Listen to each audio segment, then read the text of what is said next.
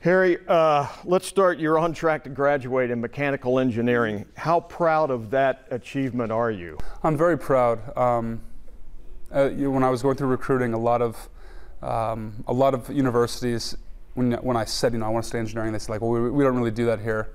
Um, either they don't have engineering or like they're not going to let a football player do engineering. So Ohio State was very unique in that respect. It was one of the main reasons why I chose it because they let they let me they encouraged me to study engineering. Um, it was very difficult, lots of lots of long hours, especially while playing football. And, uh, and I'm just sort of thinking about this cohort of, of classmates I have, who for the past you know several years we've gotten really close, just making our way through this curriculum, through this you know campaign of mechanical engineering. And so I'm really excited. Yeah, just eight weeks I think until graduation in December. So it'll be very exciting. That's a team unto itself. Yeah, for sure, for sure. We've got a group chat. We've um, you know we haven't cured or we haven't you know put a rocket on the moon. Um, but we've uh, we've we've finished some heat transfer homework together and, and figured things out like that. So I'm very proud of them. Yeah. You, you've applied for a Rhodes Scholarship, Marshall Scholarship. Yep. How do you think you've handled your mental health while trying to uh, accomplish these academic feats? I think um, better. I've handled it better than other times, but not the best that I could. I think that's the case at all times. Um, you know, it's it's dangerous, and I don't want to create the illusion that because I've talked about my mental health publicly that uh, it's a cure-all, and now it's I'm I'm better, and I don't deal with these things. I deal with these things. However, now you know I'm very. I think the biggest thing is I've learned to communicate while experiencing um, depression or anxiety or suicidal thoughts. Um, before as with a lot of mental health problems, it makes you reclusive. It makes you not want to communicate, yeah. which is the last thing you need to do when you're experiencing those things. So now I've developed a lot of tactics to, to just give my friends, my family a heads up, let them know that I'm okay. And, you know, before, I, I, sort of like metaphorize it as, you know, I have these, sometimes I have glasses on my head with this dark gray tint, and that makes everything else look gray. And before, you know, I'd really catastrophize and worry that the world was gray. And you know, now I realize that it's just a pair of glasses. That's it's no reflection of, of what things actually are. And um, you know, so it requires a sort of, of course, correction in my thought process sometimes that you know things aren't a catastrophe, things are okay. And um, so I've, I've developed good tactics, but can definitely always be better. How goes the fight, the crusade of your baby? Don't make it weird, because to me, it's it's it's a thing. Yeah. No. I yeah. I I hope it you know continues to go well. I'm not like I'm not a good um, I'm not a you know an entrepreneur or somebody who's like trying to to grow a, a brand or, identity or something. It's sort of just something that came about and, and felt very natural. And it was "Don't make it weird" was a phrase that I was saying over and over again to people, and um, I think that's sort of the the essence is you know just to just to not make it weird. Um, it feels very I don't know. I, I don't know a single person that I've talked to who hasn't had some relationship with mental health, whether it be themselves or somebody they care about. And in which case, if we have something so common, um, it's, it's, it's sort of staggering how we've, we've put it on this pedestal. And I think fear, fear and shame really are pedestals that illness, no illness deserves. Um, you know, it, for a long time, it felt like, um, you know, I, I try to hunt, hide under my blanket because you know, I'd see a boogeyman in the corner of my room in the middle of the night, and then you turn the lights on, and it's just a pile of laundry. And it's, I, I think we just need to get the collective light on and stop, you know, uh, aggrandizing and, and fearing something that we can we can fix. It's something that we all experience. So for sure, don't make it weird. Um, yeah, I hope it. I hope it continues to catch on. I think it's. I think it's a catchy little phrase. So um, I enjoy it. I think you've normalized the discussion of mental health. Yeah.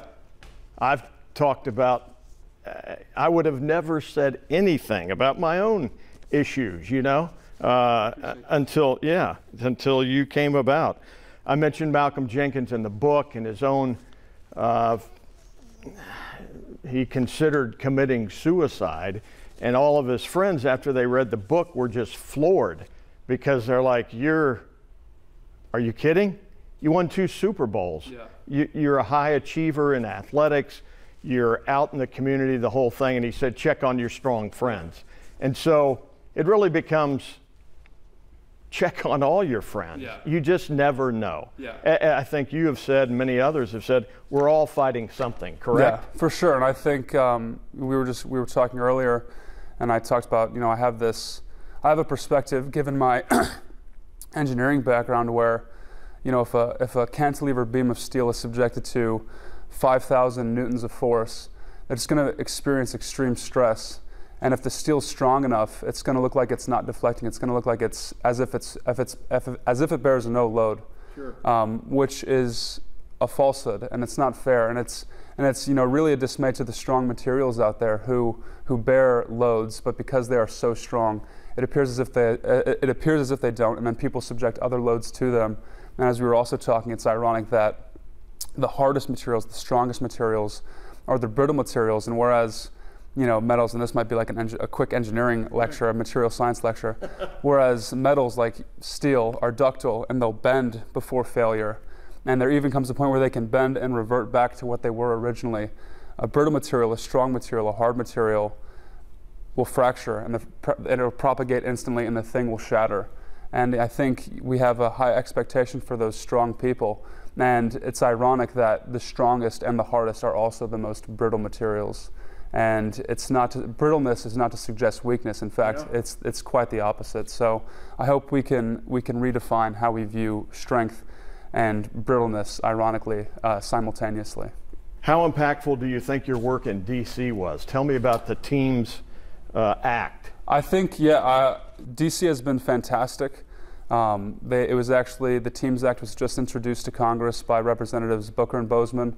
Okay. And um, yeah, it'll, it'll get resources to, to uh, research mental health with, in the student athlete population, which, as I was talking to, to Dr. Doug, will be great to extrapolate to you know, veteran groups or, or general population groups. And I think it's awesome to study this demographic of superheroes um, in this way. And not only because the, da- the data is, is outdated, and not only because it's a group that needs it, but because it is, it's a group that can be role models to other groups. And um, I'm, I'm very grateful. There's a great team out there um, with, you know, uh, Colton and Kaylin. I just I just saw recently, and it's a really great network of student athletes who uh, who care about it. So it's been awesome. Yeah, you got a lot going. I, I- would call you the Renaissance man. You're, da- you're dabbling in media, written a book, short stories. You produced a film in New York City. Yeah. So actually, yeah. So started. You actually do 48 hours a day. Is Yeah. the way you do this. Yeah, started Mint Factory Productions because we only make fresh stuff, and uh, with with Jake Ray and Cooper O'Hearn, we went to New York, filmed about a 25 to 30 minute short film in in two days, which is quite an endeavor, and. Um, it was it was awesome. We we had to film a scene. You know, we're filming a scene of a, of the, of this main character's main moment, and you know, a, a homeless person sleeping behind us on the subway, and it's uh, it was very guerrilla. It was very boots on the ground, and um, it was a great experience. And I just I just love being um, creative. I, it's something I actually got into. It's something I always wanted to get into, but never really gave myself the permission to do until Candace, who is my sports psychologist um, sort of at the at the very start of when I worked with her, um, she said, "Well, I want you. I want you to start writing. If that's something you want to do, do it." And uh, she sort of gave me the kick in the pants to get started. And since then, I've I've written a couple short stories, um, two novels, the, the latter of which is around 75,000 words. And so I have about a 140, 150,000 words of written material that going to try to publish or, or convert into screenplays and, and do some stuff with. So lots of lots of projects and lots of uh, knickknacks all over the place. Where can we see the film? Is it? Um, nowhere yet. Can So we consume it? we're in post production. It will Okay. be consumable. Okay. Um, we're looking at avenues to to release it, um, but hoping to, to release it by the end of the year. We're in post production now and, and working with a really great team of colorists, composers, sound guys. So um, it's been awesome. I think we've covered some of this. What do you think drives you now, and how would you describe your progress over two, three years now?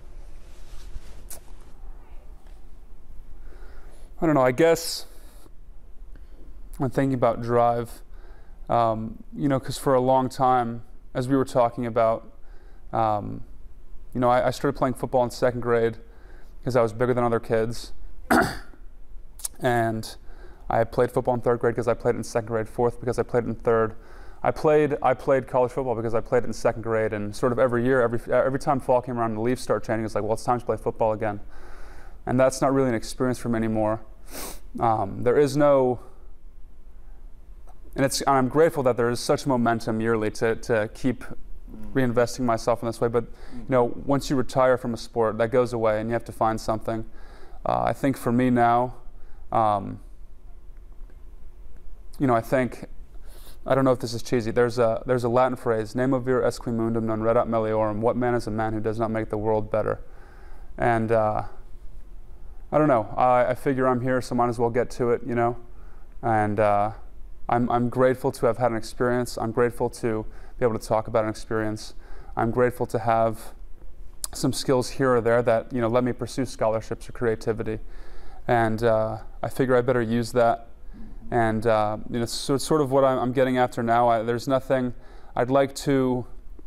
I'm excited to hopefully evolve, and and grow and um, do lots of things, and not sort of get chained up as a football player, or even as a person who had an experience with depression and suicide. Um, I think that's what's so exciting. And one of the, the main reasons why I wanted to keep living was because there was you, the potential to edit my life every single day and revise it and make something better and better, better every day. And so, you know, I'm excited to have a lot of things ahead of me. I just want to do them the best that I can and uh, just do good uh, and, and, help others. You have.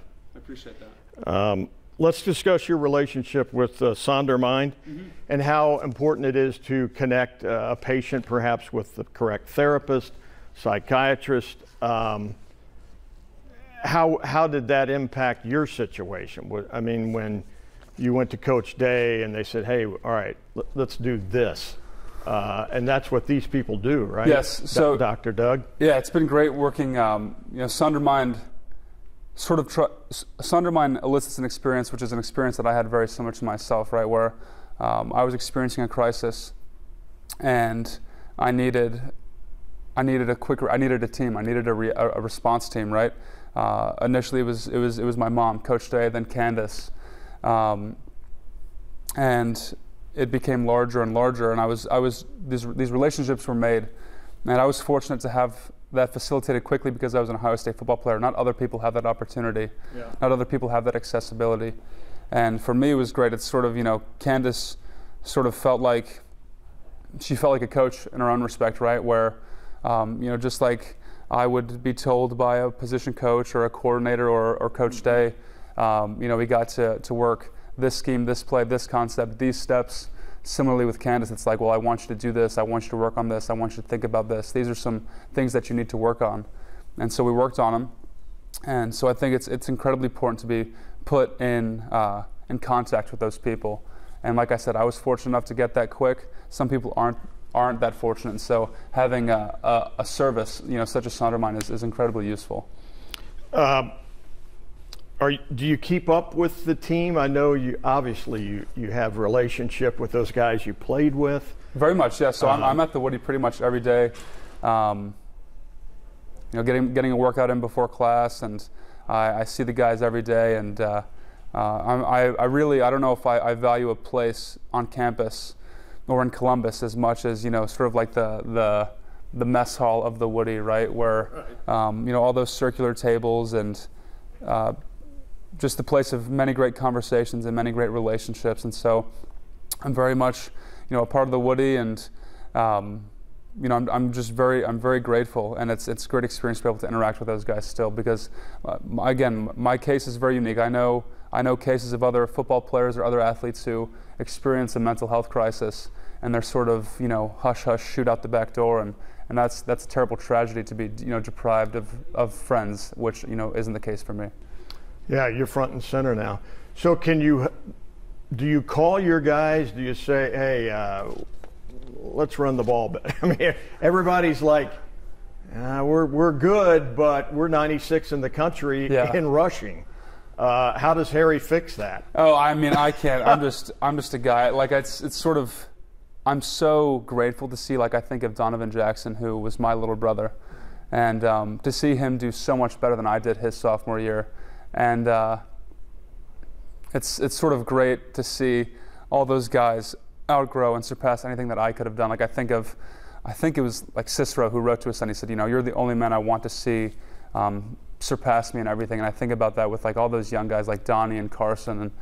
Um, be they're better than I was. Be better than I was, and they, and uh, in many respects, they already are. In many respects, they are going to be in so many fields, and um, you know, there's little things, and we were talking about like there's like little football techniques and um, about you know how to how to block a nose and get to a linebacker, which is a pain um, when you have you know one hand between your legs and you're trying to rip through a shoulder, and this guy is sprinting as fast as he can this way while this guy's grabbing your your your chest plate.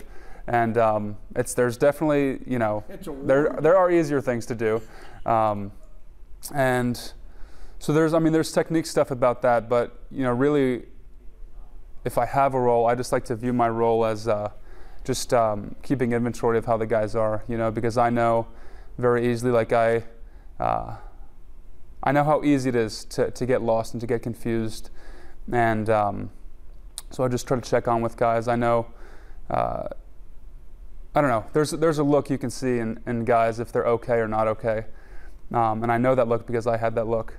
And whenever I see that, I just try to check in on guys and make sure everything's okay because uh, you can you can get lost in, in all of the traffic of, of everything. So just check in with the guys. Talk about that burden uh, of, of being in this preeminent program in the fishbowl in Columbus that has a million and a half, two million people, and a lot of keyboard cowboys out yeah. there who have to tell you what you're doing wrong. It's extremely difficult. It was extremely difficult for me. I'm a person who, I mean, I was I was a valedictorian in high school. I was a, a top-ranked person at my top-ranked player at my position. I like I, I was a perfectionist. I wanted things to be perfect, and of course, you get to a point where the competition is so excellent, where things can't be perfect, and you're going to make mistakes, and it's difficult to make mistakes in front of other people, and some guys take that better than others. I, I know I, I like I said I took it very personally and uh, you know, it's very it's very difficult for me because, like I said, when I when when I I didn't sign I didn't sign any contract to start playing football in second grade, and somewhere along the way I ended up here in Ohio Stadium, and um, it's a very strange. The game becomes more than a game, and I always I always found it very interesting how, um, you know, if you have if you're a player who has an, who has a, an experience, say with a fan or somebody saying something, and you take it personally and you get upset, yeah. the rebuttal is, well, it's just a game. But it's not just a game because we have, we have made it not just a game. There are coaches' lives involved. It's a billion dollar business. And when you start saying death threats and insulting me, well, it's not just a game, and you have made it so. And you know that's sort of it was it was not just the fact that you know, to receive these things, but when you wanted to respond to them, to be told, well, what do you? This is just a game. This is this is the same thing as when you were in second grade. Well, it's, it's not the same. It's become something different, and um, but of course, it's it's sort of um, speak when angry, and you'll make the best speech you'll ever ever regret. Speak when angry, and you'll make the best speech you'll ever regret. And uh, it's just so difficult because any act of retaliation comes across as emotional emotional immaturity. Um, but you know, for me, when I when I felt like there was when I felt like there was no response and when I felt like you know this isn't for me and I felt like I couldn't there was no rebuttal I was like that's suicide became incredibly enticing um, because it, it, felt like it felt like the the biggest way to get out of this. Because if I said anything I'd look like a chump or I'd look like a preteen or I'd look emotional and um, I said okay well then I'll, I'll just I'll get out of the way on my own terms I'll drift away yeah and so wow. it's extremely difficult. And that's why I check, on the, check in on the guys so much. Um, because it is, you know, once you're there, once you're um, shoved up onto this podium, uh, where do you go from there? And so I definitely check up on the guys. Harry, anything else you want to add? No, um, definitely just, just don't make it weird. Um, check up on your people. Check up on the people who look strong and appear, um, you know, you look at a bridge with 15, 18 wheelers and it doesn't move an inch, that's not to suggest that it's not carrying a weight, right? It's just incredibly well made. And I think there are incredibly well made people out there, incredibly tough people, incredibly hard people, incredibly strong people who bear a lot, who bear a great load, but because of their strength, they're not going to receive help because of it, because they're expected to be so strong. So check in on those people. Perhaps that's you yourself, and if that is you, you yourself, then then get help. It's okay, and um, yeah, we can we can adjust the load. We can figure something out. So um, that that would be it Harry, appreciate your time, appreciate your candor. for sure. And for folks who want to see the entire interview, that'll be available on our YouTube channel at ABC6. Thanks again.